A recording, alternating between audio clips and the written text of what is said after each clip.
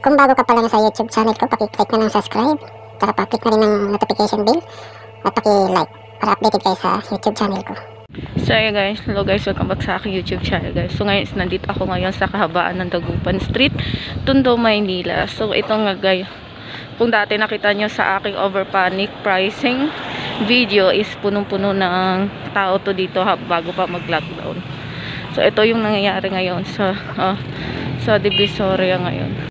So ayan, yung open naman na ah, yung Robinson, anong oras na ngayon is ah, 3 p.m. So makikita mo medyo mahaba yung yung yung Robinson kanina doon mahaba yung pila, tsaka dito din sa may ah, Pure Gold. So wait lang. So ayan kung makikita nyo yung nandiyan sa may ano na ah, ah, Pure Gold is ayan siya. Ang haba ng pila nila.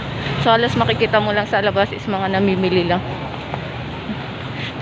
Imagine 3 p.m. ganyan kahaba ng pila. So bago sila makapasok is ini-scan sila. Tin, inaano nung ah, scanner. So ayan. Ayan. So yung sa akin is ito pa lang yung nabili ko. Haba ng pila nila. Pupunta din kasi ako ng palengke. So titingnan ko kung meron na ditong ah, latag. Kasi no choice cut tayo kailangan pa rin natin lumabas. Pero sa tuwing may kailangan lang. Medyo wala dito yung latag. Wala yung latag dito. So may, siguro nasa unahan pa yung latag nila ng gulay. So kailangan natin maggulay gulay oh my god. So ito siya guys. Nandito ako sa street na ano. Ayan yung kahabaan ng Ayan yung kahabaan ng Juan Luna Street. So kung nakikita nyo, dito namimiss nyo yung sobrang traffic. So nakakamiss din. Dito, it, eh, dito ako sa kahabaan ng Juan Luna Street. So ayun, makikita nyo hanggang sa dulo na yun, makikita na yung Juan Luna Mall. Tsaka ito naman din yung papuntan doon. So doon sa unan is medyo, ah, medyo marami din. Kasi may mga palengko siguro doon. Kaso di kami pumupunta doon. Mahirap makipag-anuhan sa maraming tao. So, ayan, nandito ako sa may kahabaan ng Juan Luna. So, ayan yung nakikita niya is may Pure Gold Junior. So, ayan, medyo mahaba sila. Na-experience namin yan. Ganyan pumila ng kahaba-haba. Alas 5 ng gabi nakauwi. So, may Robinson. Diyos ko, ang daming taong namimili.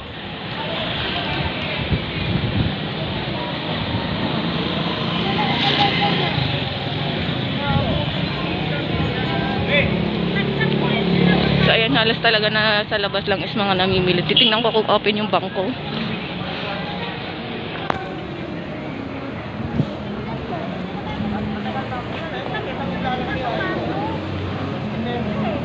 So, ayan, open din naman yung Jollibee dito. Siguro for take out lang to sila lahat. So, open din yung Grab nila. May distancing din silang nangyayari.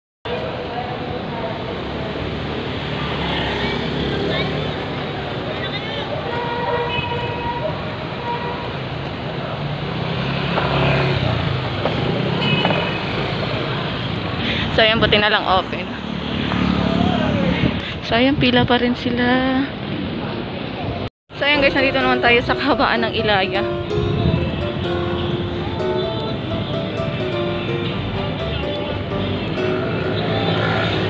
So, sa side dito is medyo madami. So, sad maraming tao kasi maraming namamalengke. Nandito yung maraming. So, ayan, nandyan yung mga front, frontliners natin. Guys, is nasa harap tayo ng 168 tsaka 999 na mall at tutuban. So, dito siya is Solar Street. So, ganyan. So, di tayo makaakyat sa taas. Itong kahabaan is recto. Yung kahabaan na to is recto. So, nandyan yung mga pulis natin na ready to ano. So, lagi sila nagpapatrolya. So, medyo maraming tao kasi namimili. So, distancing pa rin talaga.